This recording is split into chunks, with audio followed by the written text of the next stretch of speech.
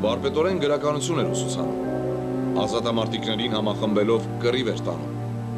Կյանքի առաջադրած հարցերին համարցակ պատասխաններ էր գտնում։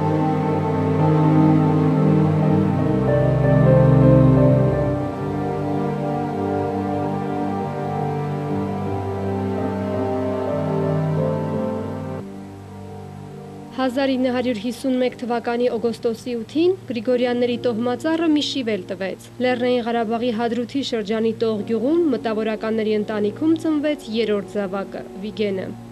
Դեռ մանկուց Վիգենն առանձնանում էր հասակակիցներից, ավելի աշխուժ էր, հետաքրքրասեր, կատակասեր, համարցակ։ Հոր պատմաբան աշխարհագրագետ Սամվել Գրիգորյանի պատմությունները նախընտրում էր մանկության հեքիաթներից, հատկապես երբ դրանք վերաբերում էին Արցախի մելիքություններին։ Ընդամենը 5 տարեկան էր ու Բաքում խաղերի ժամանակ զինվորի դերն իրենն էր։ Սովորում է տողի միջնակարգ դպրոցում։ Երասկոտ չէր, բայց մեծ նպատակներ ուներ։ 8 տարեկան էր, երբ մանկավարժ ծնողներն իրենց հարկի տակ հյուրընկալում են դպրոցի տնորենին։ Տարական դասարանի աշակերտ Վիգենն աննկատ վերցնում է հյուրի գլխարկը, դնում գլխին ու սլացի կեցվածք ընդունելով մտնում հյուրասենյակ։ Պապ, նիհար դիրեկտոր լինում է, ես էլ եմ ուզում դպրոցի դիրեկտոր լինել։ Դպրոցական երուն կյանքով է ապրում։ Դասացուցակային առարկաներին գումարվում են տարբեր խմբակներ, մրցույթներ, պատվոգրեր, թղթակցություն շրջանային թերթերին։ Տանը մասնակցում է Գրիգորյանների ընտանիքի օրգան դեպի աշխատանք թերթի ստեղծման աշխատանքներին։ Բազմանդամ ընտանիքում կոմիտե էր ձևավորվել։ Տնային աշխատանքները բարեխղճորեն կատարողները խրախուսանքի էին արժանանում գրքի տեսքով։ Այգին ջրելու գործում Վիգենն առաջինն էր։ Գրիգորյանների բազմանդամ ընտանիքում ավանդույթների պահպանումն առաջնային էր։ Երկհարկանի տան պատշգամբից հարևանները հաճախ էին լսում հայոց պատմության հերոսների սխրանքների մասին։ Բարձրաձայն ընթերցանությունը ընտանիքի 4 զավակների համար սկզբում պարտականություն էր, հետո պարզապես հաճույք։ Դպրոցական Վիգենն առանձնահատուկ վերաբերմունք ուներ հայ գրականության հանդեպ, անսահմանորեն Շիրազ, Էմին ու Սևակ էր սիրում։ Հետագայում անգամ դրանց հետ բարեկամական կապեր ուներ։ Ասմունքը նրա տարերքն էր ու ընտրեց բանասերի մասնագիտությունը։ Հերավոր Արևելքի գվարդիական զորամասում ծառայությունն անցնելուց հետո տուն վերադարձավ սպայի կոչումով ու 1973-ից սկսեց ուսուցչական գործունեությունը հարազատ դպրոցում։ Երիտասարդ բանասերը նախ ուսուցիչ էր, հետո փոխտնօրեն, ապա տնօրեն։ Եվ այս ամենն այն ժամանակ, երբ դեռ ընդամենը 25 տարեկան էր։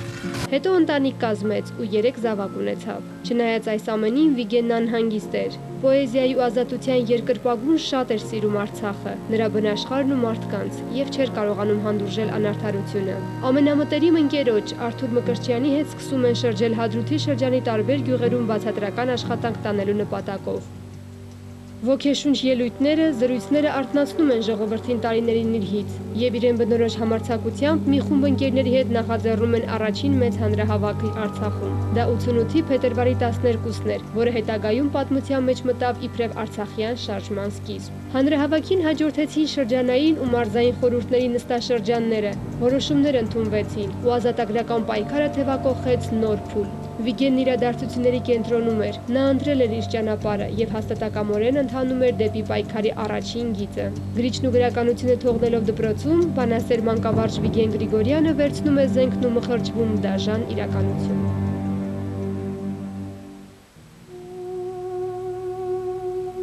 Մելիքանիստ տողի պատմությունը կրակների միջով է անցնում ու լեռնաշխարի հերոսներով անմահանում։ Ասում են, Արցախյան բարբարով համենված հայոց լեզուն այլ մեղեդիներ ունի, որը ոչ մի ժամանակաշրջանում չի փոխվել։ Արցախցիներն էլ հյուրընկալ են, մարդամոտ, ծիծաղաչ ու պաշտում են իրենց հողը։ Բայց արցախցիները նաև ահաբեկությունից չահաբեկվող են, դժվարությունից ու փորձություններից չընկրկող։ Նրանք պայքարել գիտեն ու ոտքի ելան 88-ին։ Անհրաժեշտ էր միավորել ուժերը։ Լեռնային Ղարաբաղի զորամիավորումների ընդհանուր հրամանատարը հանդիպեց Վիգենին։ Փորձված զինվորականը բարձր գնահատեց հանգամանքների բերումով ազատամարտիկ դարձած ուսուցչի աշխատանքը։ Միայն զարմացած էր, Վիգենի մասին լեգենդներ էին պատմում, իսկ այդ պահին նրա առաջ կանգնած էր արտակուստ շատ սովորական մի երիտասարդ, բայց երբ լսեց նրան, համոզվեց, Արցախի հարավային դարպասների պաշտպանությունը հուսալի ձեռքերում է։ Զարգացող իրադարձությունները Վիգեն Գրիգորյանին ստիպեցին ստեղծել Վրեժ հայդուկային ջոկատը։ Վրեժը դարձավ նաև նրա մարտական անունը։ Դեռևս մեծ հայրենականի տարիներին շատ արցախցիների պես Վիգենի հայրն էլ գնաց ռազմաճակատ։ Տուն վերադարձավ 3 վերքով, որի պատճառով տարիներ շարունակ տարապում էր, բայց նաև ինքն իրեն հանգստացնում էր։ Ես կռվեցի ու 3 վերք ստացա, որpիսի իմ 3 որդիները երբեք պատերազմ չտեսնեն։ Չտեսան Պատերազմն արժևում էր։ 89-ին ստեղծվեց Արցախ բարեգործական միությունը։ Վիգեն Գրիգորյանն ընտրվեց միության հադրութի մասնաճյուղի նախագահ։ 1990 թվականին զինվորագրվեց Հոիդային։ Ավելի ուշ ղեկավարում էր նաև կուսակցության Արցախյան կառույցը։ Նախկինում հադրութի շրջանը կոչվում էր Դիզակի գավառ եւ կենտրոնը Տողն էր։ Հենց 88 թվականին շարժումն էլ այստեղից սկսվեց։ Երբ արդեն սկսվեց մարտական գործողությունները, հայ հեղափոխական դաշնակցությունը այստեղ ավելի ակտիվ դեր ուներ, զենք անչափ քիչ ունեինք։ Կոնկրետ տող գյուղում ընդամենը երկու ավտոմատ զենք կար, որը տվել էին մեր դաշնակցական ընկերները։ Այդ զենքերից մեկը գտնվում էր ընկեր Արմենի ձեռքին, իսկ մյուսը իմ ձեռքում։ Արմենը ում Արմենչոյ էին կոչում Վիգենի աշակերտն էր ու Զինակից անբաժանելի ընկերը։ Նրա հետ զրույցներից մեկի ժամանակ անկեղծացել էր իր երազանքների մասին։ Ասում էր ծնողների պես ուսուցիչ էր ուզում դառնալ։ Սեփական մեքենա էր ցանկանում, նաև նոր ու գեղեցիկ տուներ երազում կառուցել։ Երազանքի տան հիմքերը կային, բայց կիսակառույցը փլատակների վերածվեց թշնամու ձեռքով։ Չեր սրտնեղում, հաղթելու ձգտում ուներ։ Վիգենն էլ լատիներենից թարգմանաբար հաղթանակ է նշանակում։ Իմ առաջին ջոկատը 10 հոգի էին եւ այդ 10 հոգիները հիմա բոլորն էլ հրամանատար են դարձել ղեկավարում են վաշտեր որոնց անունները ասեմ Արմենը որն ունի կուսակցական Գևորգ անունը նա Գևորգ Չաուշին շատ է նման ոչ թե արտակուստ այլ իր գործով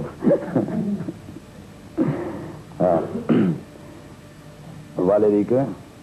Սամվելը Հիշում էր նաև բոլոր հարազատների, մտերիմների, ընկերների ծննդյան օրը։ Առիթի դեպքում հեռախոսազանգը, հեռագիրը կամ անսպասելի այցը նրանից հեռու չէին։ Ասում են չափազանց ուշադիր էր եւ փոխարենը ոչինչ չէր պահանջում։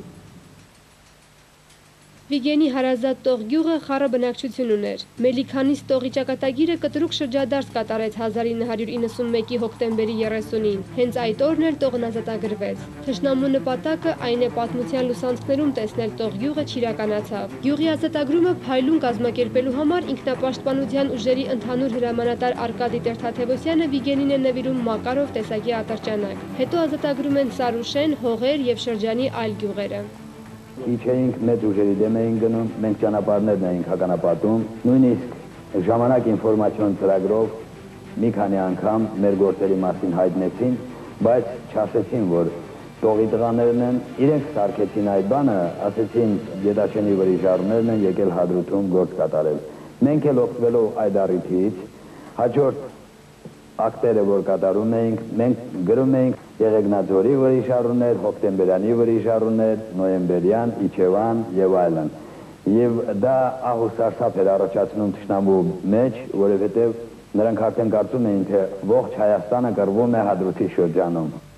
Այդ շրջանում զուգահեռաբար որոշակի աշխատանք էր կատարվում Արցախի իրավական անկախության հաստատման համար։ 1991-ի դեկտեմբերի 28-ին անցկացվում է ԼՂՀ Գերագույն խորհրդի ընտրությունը։ Տողի ընտրատարածքից Գերագույն խորհրդի падգամավոր է ընտրվում Վիգեն Գրիգորյանը։ Կազմավորվում են նորաստեղծ հանրապետության պետական իշխանության եւ կառավարման մարմինները։ Մի քանի օր անց 1992-ի հունվարի 8-ին Գերագույն խորհրդի նախագահ է ընտրվում Արթուր Մկրտչյանը։ Արցախը շարունակում է ապրելու պայքարը, խաղաղության կռիվը։ Վրեժ Վիգենը գումարտակի շտաբի պետն էր, բայց դարձյալ առաջին գծում էր։ Վիգենը համոզված էր, որ Արցախի ազատագրությունը կապահովի լավ տղաների հերոսական ջանքերով ու նաև նրանց մահերով։ Դա պատերազմի օրենքն էր։ Մեծ հայդուկը չէր վախենում մահվանից։ Գիտեր, որ ապրելու կեսն էլ պատվով մեռնելն էր, եւ այդպես ամեն օր Արցախում մարդիկ մեռնում էին ապրելու համար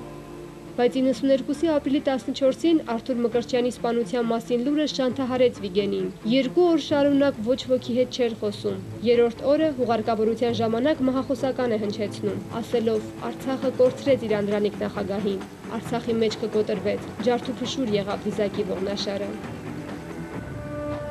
Նման զարգացումներից հետո Արցախցուն հետագա պայքարի համար ողջավորություն էր պետք եւ Շուշին ազատագրվեց։ Մայիսի 9-ի հաղթական լուրն ընկերների հետ Վիգենը բերեց նաև քրոջ տուն Երևան, բայց քրոջ հորդորով հաղթանակի շամպայնը չբացվեց։ Լիարժեք հաղթանակն այն ժամանակ կլինի, երբ պատերազմ այլևս չի լինի։ Պատերազմը շարունակվում էր հաղթանակներով ու կորուստներով, զոհվում էին Վիգենի մարտական ընկերներ դարձած աշակերտները։ Պետք է առաջ շարժվենք։